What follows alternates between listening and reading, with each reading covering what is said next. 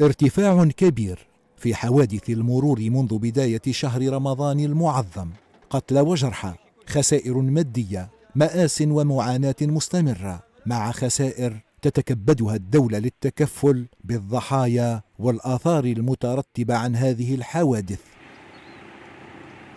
مؤشر الحوادث المرورية في ارتفاع مخيف ومستمر حصيلة مروعة خلال الأسبوعين الأولين من الشهر الفضيل.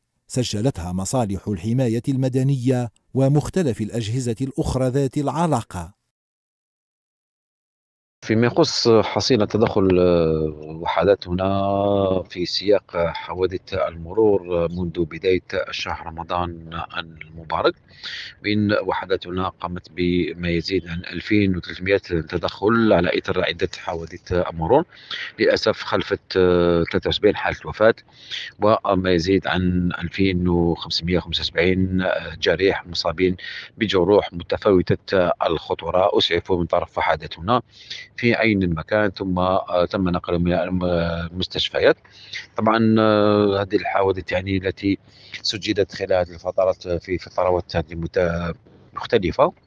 خاصة الفترة بين الخامسة مساء إلى السابعة مساء يعني نتكلم على الحوادث المميتة التي آه، تفسر خاصة التصادمات. وين هنا يدخل عامل السرعة زائد تعب والسياق تحت تأثير النعاس وقد سجلت مصالح الشرطة. أربعة آلاف ومائة وخمسين مخالفة تتعلق بالسرعة المفرطة قبل موعد الإفطار.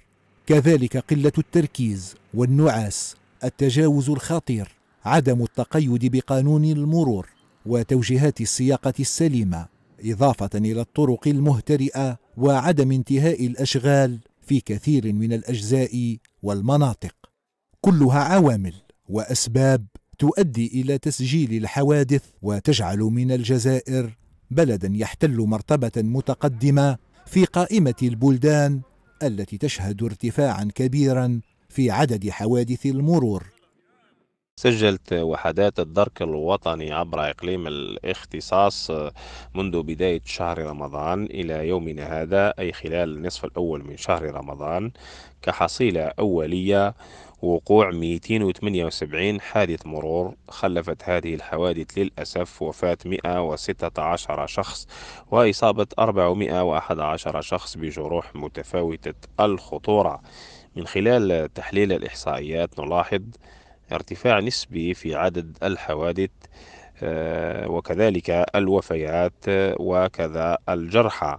وهذا راجع إلى عدة أسباب من بينها السرعة المفرطة آه، التي يقود بها السواق مركباتهم وكذلك آه، السياقة تحت تأثير آه، الإرهاق والتعب ونقص التركيز والانتباه وكذلك المناورات الخطيرة في الأوقات يعني التي تسبق وقت الإفطار. يحدث كل هذا رغم المجهودات المبذولة وحملات التحسيس ودعوات الحيطة والحذر وأيضا رغم مشاهد الموت الخراب والمأساة.